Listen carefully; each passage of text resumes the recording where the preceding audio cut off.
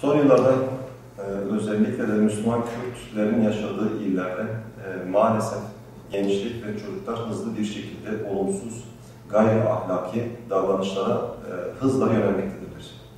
Ve gene maalesef e, birileri de buna seyirci kalmakta ya da birileri de bu işe çanak tutmakta.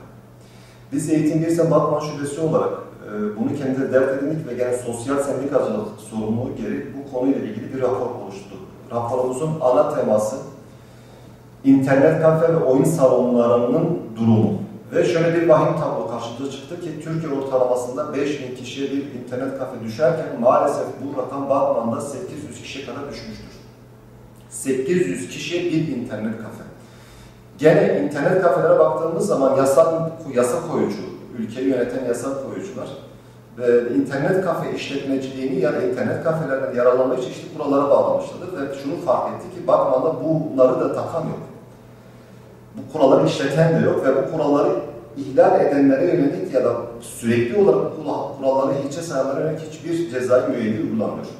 Bunun iki şekilde açmak istiyoruz. Bir tanesi internet kafeler kesinlikle ve kesinlikle mabetlere yani camilere, mescitlere, Kur'an kurslarına aynı zamanda eğitim kurumlarının okullara ve dershanelere 100 metreden daha yakın olması yasaktır. Fakat maalesef okul, dershane, mescit ve cami ve Kur'an kursu itibariyle söylüyorum ben.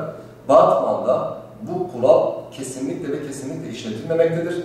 E, valilik ve belediye ve diğer yetkililer bu işe seyirci kalmaktadırlar.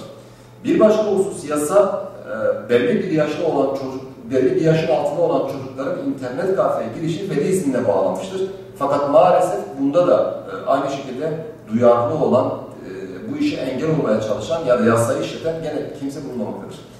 Bir başka husus, yaşı küçük olan çocukların kesinlikle ve kesinlikle ne şekilde olursa olsun internet kafeleri yasakken e, tam aksine maalesef ve maalesef Batman'daki kenar mahallelerdeki bütün internet kafelerin daimi müşterileri küçük yaştaki çocuklardır.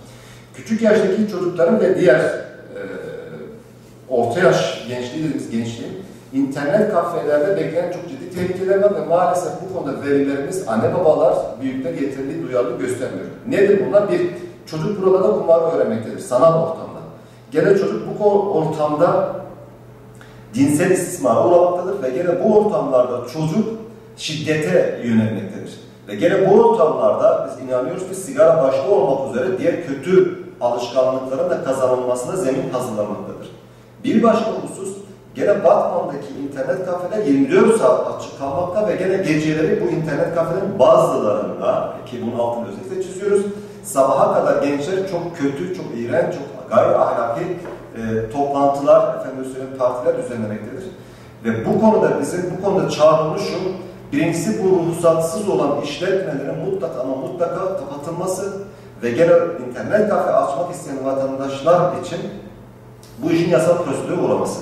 Eğitim bir olarak bizim buradaki gayemiz, amacımız asla ve asla internet kafe işletmecilerinin e, mağdur edilmesi değil, ekmekleri oynamak değil ama gençliğimize sahip çıkmaktır. Bu anlamda velilerimizi duyarlı olmaya davet ediyoruz.